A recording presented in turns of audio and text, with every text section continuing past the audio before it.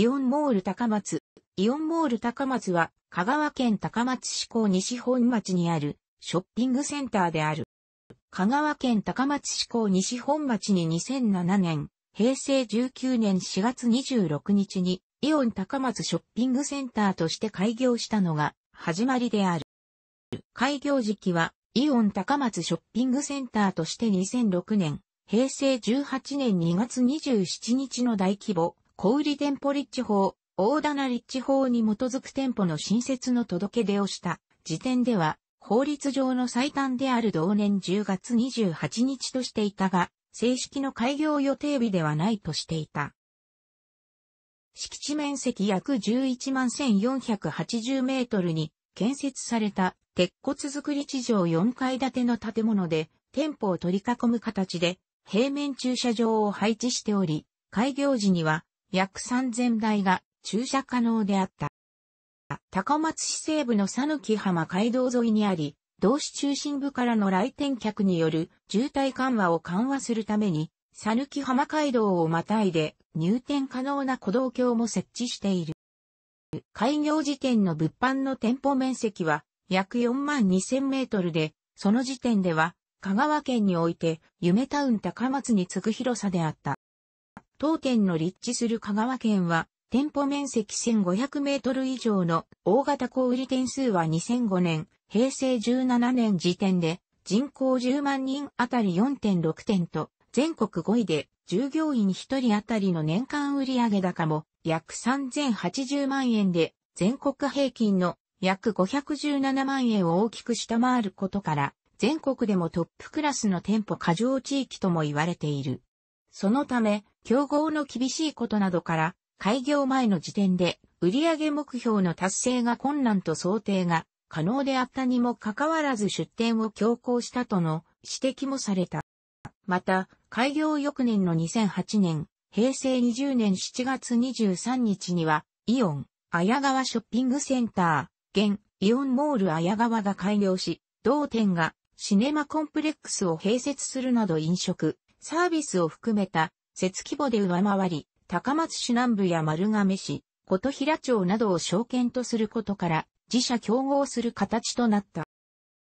こうした競合の激しさもあり、純格店舗の朝日屋書店が開業翌年の2008年、平成20年6月下旬に撤退するなど、退店するテナントも多く、朝日屋書店の後継として、同年8月7日に、双葉図書に、高松店を出店させたり、2010年、平成22年9月に楽器堂オーパスイオン高松店を出店させるなど、新規テナントの導入も行っているものの、開業時に150店入居していたテナントは2013年、平成25年4月の改装時には138店に減少している。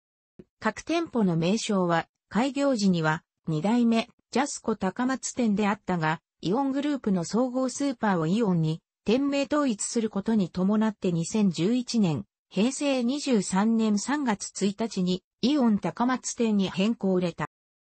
また、当ショッピングセンターの名称も2011年、平成23年から進められたイオンの大型ショッピングセンターの名称のイオンモールへの統一に伴い、同年11月21日にイオン高松ショッピングセンターからイオンモール高松に名称が変更された。2013年、平成25年4月26日には開業後初の大規模な改装を行って新装開店したが、その際には分野ごとに専門店の位置を集約するなどの利便性の向上を図ったほか、隣接するグループの丸中鋼材店との間の塀の一部を撤去して駐車場内を通って利用者が両店間を行き来できるように改良された。2013年、平成25年11月からイオンリテールの運営していた大型ショッピングセンターをイオンモールの運営に委託することになったことに伴い、同社の管理運営に移行した。開業時には2代目ジャスコ高松店が各店舗で準各店舗としてユニクロやアサヒヤ書店、スポーツオーソリティが入り150の専門店が出店していた。しかし、準核店舗の朝日屋書店が開業翌年の2008年、平成20年6月下旬に撤退するなど、退店するテナントも多く、朝日屋書店の後継として、同年8月7日に、双葉図書ギガ、ギガ高松店を出店させり、2010年、平成22年9月に、楽器堂をパスイオン高松店を出店させるなど、新規テナントの導入も行っているものの、2013年、平成25年4月の改装時には、テナント数が138点に減少している。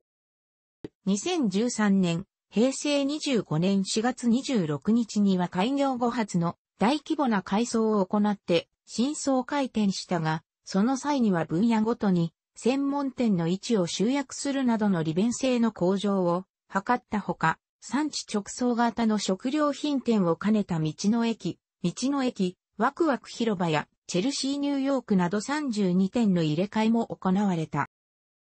なお、各店舗のジャスコ高松店は、イオングループの総合スーパーをイオンに店名統一することに伴って2011年、平成23年3月1日にイオン高松店に店名を変更している。初代ジャスコ高松店が1971年、昭和46年12月10日に開業したのが始まりである。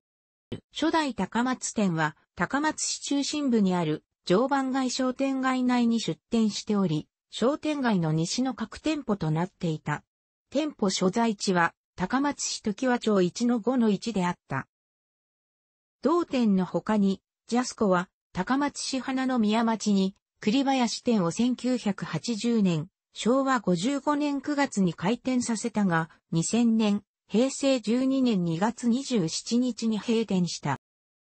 当ショッピングセンターの各店舗として2007年、平成19年4月26日に開業した2代目ジャスコ高松店は、ジャスコとしては7年ぶりに出店する形となった。2代目ジャスコ高松店は、売り場面積約1万8000メートルで、2009年、平成21年11月3日からネットスーパー事業を開始した。イオングループの総合スーパーをイオンに店名統一することに伴って2011年、平成23年3月1日に現在の店名を変更している。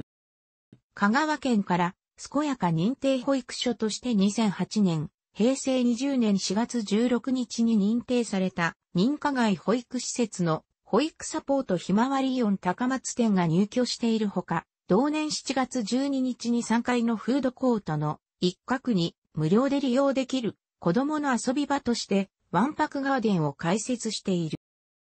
開業1ヶ月前の2007年、平成19年3月26日にイオンふるさとの森づくり植樹祭を開催して、敷地の一部に植樹を行ったほか、2009年、平成21年2月22日から太陽光、発電システムを稼働させ、消費電力の一部を賄うなど環境問題への対応も行っている。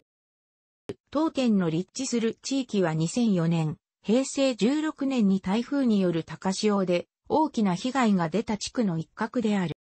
そのため、2007年、平成19年6月27日に高松市と災害時の応援協定を締結し、店舗を近隣住民の一時避難所や車両待避場所として提供するほか、大規模災害時に食料品や飲料水、食器類、日用品などの物資を高松市に優先的に供給することになっている。